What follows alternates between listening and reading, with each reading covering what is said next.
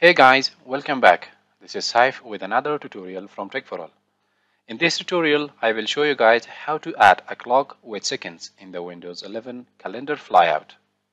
Let's start. As you know guys that by default the Windows 11 calendar flyout does not have any time or clock with itself. To enable a clock or to add a clock in the Windows 11 calendar flyout, all you need to do is simply right click on the date and time and then select adjust date and time. In the settings scroll down and select additional clocks. Here you can add two clock. I will enable the first one. The time zone is okay for me and you can enter a name for the clock. For example, I have written Kabul time. Now click on the apply button and let's check that whether it's added or not. Click on the calendar and here as you can see that we have the clock in calendar flyout. Now if you want to add seconds in the calendar flyout, all you need to do is simply click on the date and time and then click on the change date and time button.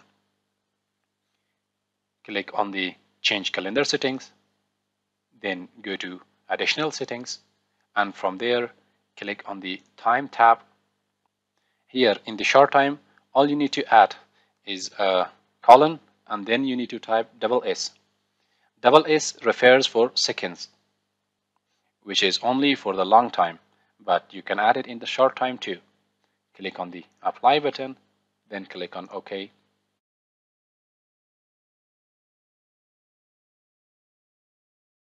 Now let's check that whether we have the seconds in the calendar flyout or not. Here, as you can see guys, that we have the seconds in the calendar flyout, but it is not updating in real time. You need to click on another setting or click anywhere else and then click on the calendar flyout again to update the seconds.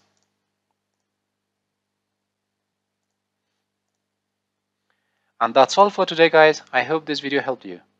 Thumbs up if you like the video and subscribe if you love the video. I will catch you very soon with another tutorial. Till then, have a nice time.